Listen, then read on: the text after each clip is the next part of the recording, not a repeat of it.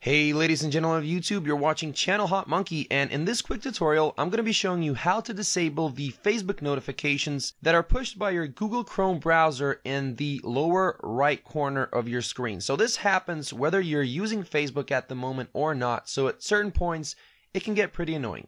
So if you want to disable them, here's how.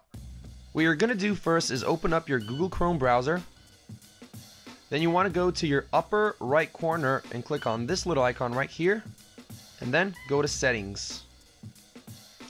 Now on the settings page you're going to scroll down and you're going to click on show advanced settings. Then you're going to scroll down a bit more until you find the privacy section and then you're going to click on the content settings button that is located right here. So we're going to do that. This dialog box should pop up we're to scroll down until we find the section for notifications. Okay, so as you can see, here it is. Now you're to go down here and click on Manage Exceptions. So it's to give you a list of websites and you want to find Facebook. Once you find it, you can click on it and then you're to get this little drop down menu which you can click on and to block the notifications simply click block then click done and you're to click done right here to confirm the settings.